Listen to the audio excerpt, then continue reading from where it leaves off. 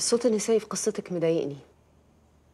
يعني إيه؟ مش فاهم يعني القصة حلوة بس كل الستات اللي فيها حاساهم مستضعفات كده. مفيش ولا واحدة فيهم قوية. وهو إيه تعريف حضرتك للست القوية؟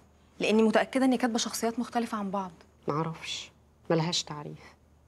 كفاية قوي إن أنا وافقت إن مشروع تخرجك يبقى رواية رومانسية مش كمان هتجيبي لي ستات من القرن اللي فات. دكتور هو ممكن حضرتك توضحي أكتر؟ قصدك إيه بالظبط؟ يعني مثلا شخصية الأم. أنت مطلعاها كأنها ملاك بالرغم من إن هي أرملة وكأنها خلاص ما بقتش ست مع إن سنها صغير. هو أنا أنا كنت حابة الشخصية كده.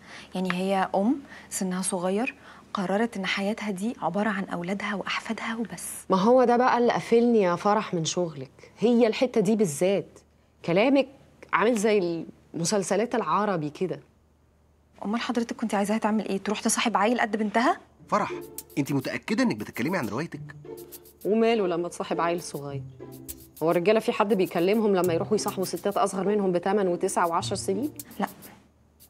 لا يا دكتور أنا أنا مش حابة الشخصية تكون كده خالص خالص الحقيقة. فرح كان ناقص تقول لها كفاية الشخصيات اللي في حياتي. وبعدين بقى بصراحة موضوع جوازك ده ملخبطك شوية واخد كل وقتك. لا طبعا.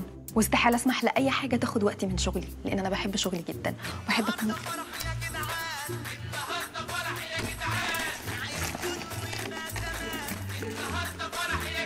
أنا آسفة أنا آسفة يا دكتور أنا آسفة. آه بابايا تقريبا غير رنه الموبايل ما أعرفش